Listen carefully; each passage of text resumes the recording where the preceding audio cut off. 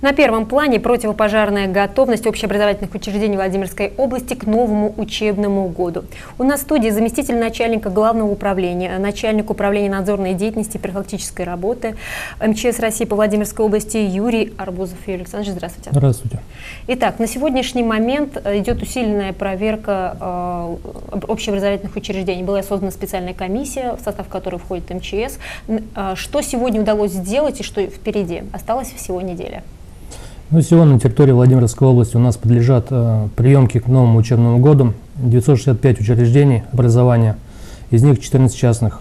Э, в эти учреждения входят как э, школы, так и детские сады. При, э, в июле месяце текущего года у нас было проведено заседание комиссии по чрезвычайной ситуации и обеспечению пожарной безопасности по Владимирской области, э, в котором были приняты решения по необходимым действиям и мерам, э, производимым к новому учебному году при подготовке. На данный момент у нас э, осуществлена приемка 964 учебных, учебных учреждений. Одно учреждение у нас пока не принято. Это средняя школа образовательная, новое здание в городе Сойменко. Там в данном объекте у нас не подготовлены системы противопожарной защиты, не предоставлены акты испытаний данных систем, имеется нарушение при монтаже, поэтому на данный момент э, пока у нас данный объект находится на контроле. Остальные э, учебные заведения у нас приняты к новому учебному году. В целом у нас... А все-таки есть надежда, у вас есть информация, э, в Собинке так ждут этого события, открытия новой школы. Удастся ли все ну, решить? Все зависит от руководителей данного объекта, угу. как они выполнят все наши требования пожарной безопасности. Пока не выполнят, мы данный объект принимать не будем. Угу. У нас так в целом организовано а, взаимодействие с департаментом образования а, администрации Владимирской области – в рамках взаимодействия каждый сотрудник в каждое учреждение у нас осуществлялась приемка, совместная комиссионная приемка учреждений, где был сотрудник МЧС и смотрела, какие имеются нарушения. Всего, на, всего у нас а, проверено было, проведено проверок 380 проверок соблюдения требований пожарной безопасности зданий и сооружений учебных, 318 плановых проверок и 62 внеплановых проверки. В, в рамках данных проверок было выявлено 522 нарушения, то есть порядка полтысячи.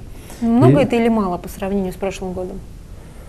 Ну, по сравнению с прошлым годом а, то же самое практически получается. Здесь а, на время работы школы, ну, школы в учебном году, потом прекращают, проводятся ремонтные работы после окончания учебного года. И в рамках данных а, работ, бывает э, и системы нарушаются, и, естественно, инспектор, приходя на объект, это видит и э, предлагает предписание для устранения. Угу. На данный момент все эти 522 нарушения э, устранены, ну, которые были проведены в плановых и неплановых проверок. Вот. Каким требованиям пожарной безопасности должны отвечать учебные заведения? Ну, это в первую очередь должны быть системы противопожарной защиты находиться в исправном состоянии. В систему противопожарной защиты входит это пожарная сигнализация автоматическая, э, система оповещения в случае пожара, э, система дымоудаления и система пожаротушения, если необходимо. Э, и, естественно, также смотрится на водоснабжение, на внутреннее водоснабжение, оборудование пожарных кранов, давление в сети воды – также пожарные гидранты, которые находятся на территории школ. А, естественно, наличие первичных средств пожаротушения, огнетушителей, срок их годности, исправности, естественно, обучение пожарно-техническому минимуму руководителей объекта и также проведение инструктажей а, а, с работниками учреждений. И, естественно, эксплуатация путей эвакуации, отсутствие их загромождения и легко открывающие запора, чтобы в случае пожара можно было легко эвакуироваться. Какие нарушения чаще всего выявляются в ходе проверок? Ну, в основном это нарушение пути эвакуации загромождается, ну, так как я говорил, уже ремонт проводится.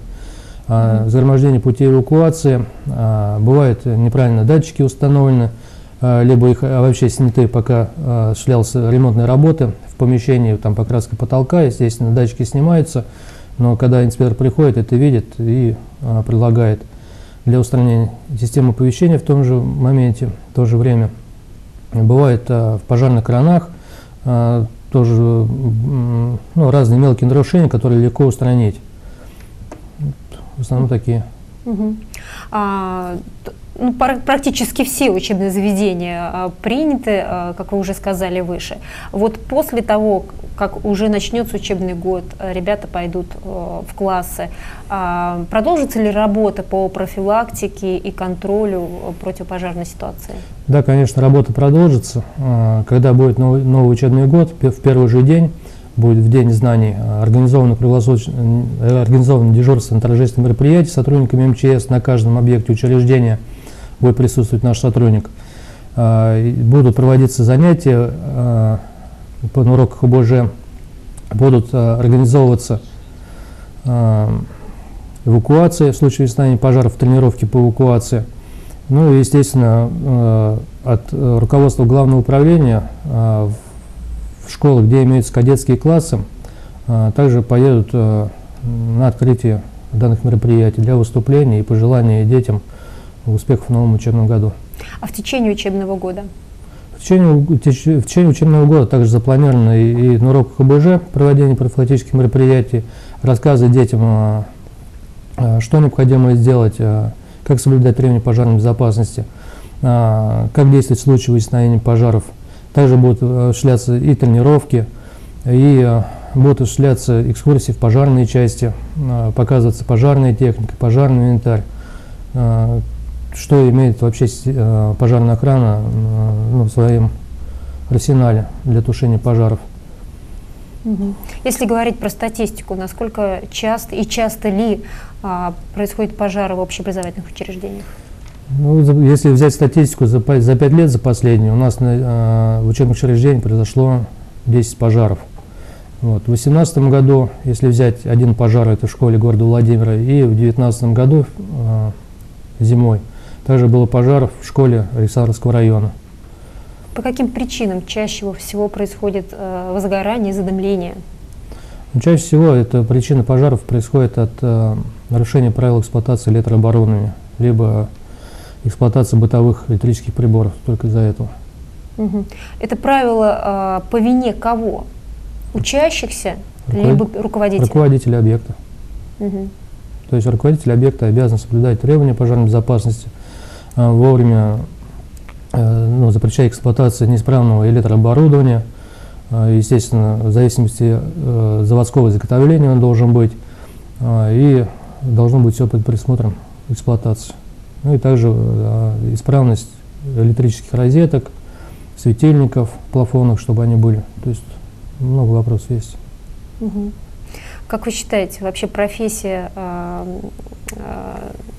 насколько сегодня она престижна и насколько э, те, кому приходите и рассказываете о своей миссии, понимают, насколько это важно, нужно и хотелось бы э, молодым и юным дарованием вступить в ваши ряды? Ну, данная наша профессия в МЧС, э, она очень важна. Э, главным управлением нашего МЧС Владимирской области осуществляется подбор, подбор кандидатов в учебные заведения. Это в Академии государственной противопожарной службы МЧС России город Москва, Санкт-Петербургский университет государственной противопожарной службы и в Ивановскую пожарно-спасательную академию. Набор кандидатов у нас осуществляется в пожарно-спасательных гарнизонах, как территориальных, так и в главном управлении, а, до 1 июня.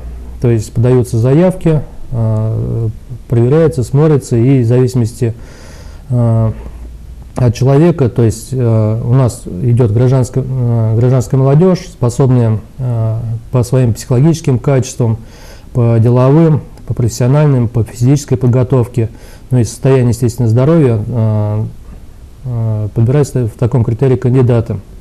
Отбор кандидатов в образовательное учреждение у нас проходит по специальностям. Это пожарная безопасность, техносферная безопасность, информационная система и технология, ну а также система и анализ управления – с требованием, в общем, что можно сказать, при поступлении в данные э, учебные вузы необходимо помимо ЕГЭ, как в школах, сдавать, сдавать также математику и физическую подготовку. Э, при поступлении в данные учреждения э, становятся курсантами, молодые люди, и находятся на полном обеспечении государства. То есть обучаются бесплатно, заключается контракт, и даже выплачиваются ежемесячные денежные довольствия данным курсантам.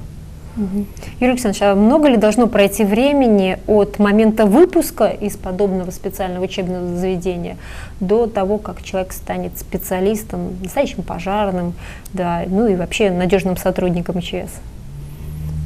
Сотрудником МЧС уже становится с момента поступления э, в учебное заведение. Э, по окончанию учебного заведения присваивается э, звание внутренней службы, лейтенант внутренней службы – и э, при выпуске из данного учебного учреждения уже назначается, то есть направляется в те регионы, где, э, от, откуда поступали данные кандидаты, и назначается на должности. Естественно, э, опыт приходит с практикой. То, что в учебных заведениях это пока практики особой нету, это теория идет, а практика тут намного значительнее. Это все зависит от каждого человека по-разному. И зависит, э, в какие ситуации попадал, э, по каким пожарам работал, какие объекты проверял. Это все э, ну, набирается. Ну, естественно, со временем опыт приходит. Ну, более точно здесь сказать нельзя, что когда человек профессионалом станет. Профессионалом станет, когда опыта побольше наберется. Чем, чем больше опыта, тем больше профессионализм. Что сегодня э, принципиально изменилось э, в работе пожарного? Техническое обеспечение. Подход остался тот же? А, подход какой? Подход, подход к работе. Подход к работе. А, каждый сотрудник МЧС а, готов к своим профессиональным, по своим профессиональным навыкам выполнения всех требований по должностной инструкции, которые необходимы. Это что касается и тушения пожаров, что, и также и профилактирования, и проверки объектов надзорных органов осуществления. Вот. Еще какие вопросы будут? А, да, конечно. А, Все-таки э, работа это специфическая, и очень часто приходится рисковать собственной жизнью да, ради общего блага, ради спасения других жизней. Вот угу. как вы считаете, а, какие критерии нужны такие личностные? Понятно, что мы говорим об общей физической подготовке, там, выносливости и так далее, но в психологическом плане э, что является основополагающей в вашей профессии? Правильное принятие решения в экстренных ситуациях, а, независимо от ситуации, что необходимо принять быстрое и правильное решение для спасения людей, если это что касается притушения пожаров. И, естественно, выбрать приоритетное направление по спасению людей и потушению. Можете привести, э, может быть, личный пример, либо ваших сотрудников, э, когда вот такие доли секунды и э, момент правильного принятия решения во многом определил положительный исход события? Ну, если взять вот пожар был, где в городе Вязников в текущем году на данном пожаре погибло двое несовершеннолетних детей и их бабушка. Там также находился третий ребенок. А, данный ребенок а, не смог сам самостоятельно эвакуироваться, находился в ванной комнате, а, стоял около открытого окна и кричал о помощи. Естественно, по прибытии пожарных подразделений осуществлялась, как положено, разведка и обнаружение данного мальчика и принятие мер по его эвакуации. Тем самым мальчик не пострадал, то есть никаких ожогов не получил, даже отравления угольным газом не было.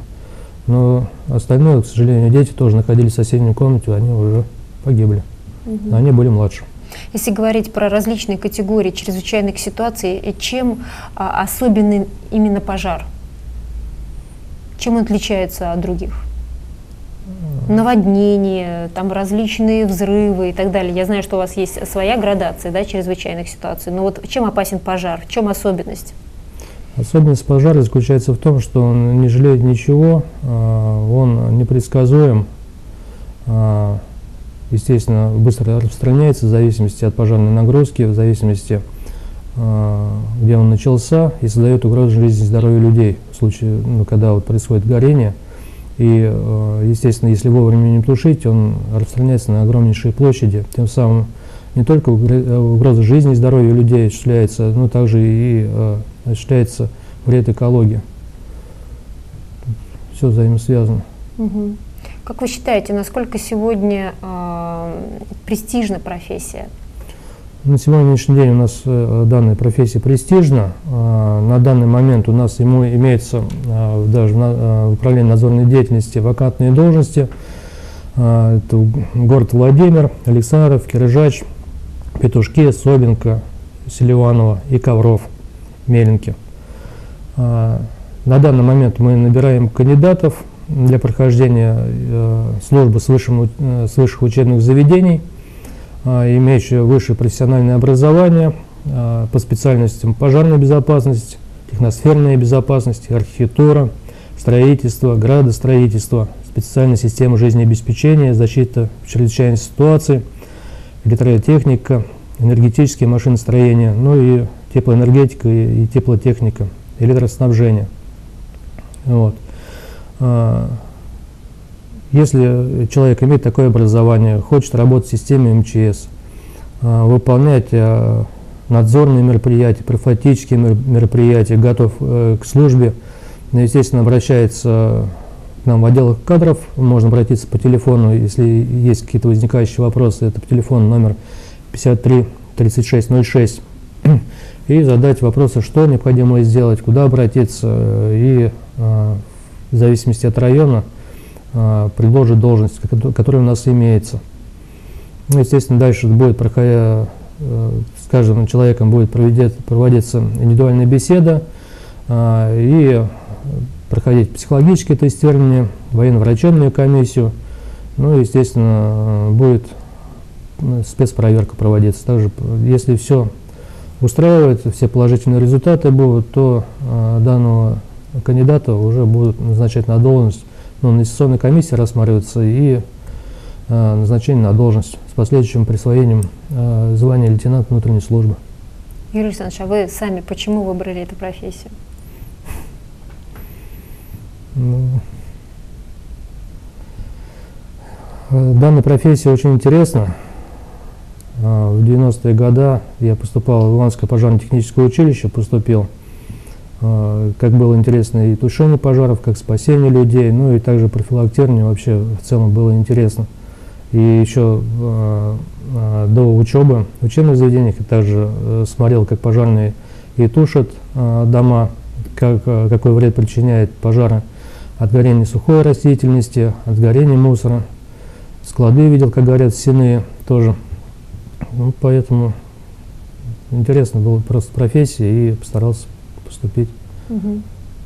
Как вы считаете, спасение людей – это все-таки э, а, образование, либо это некий склад такой души?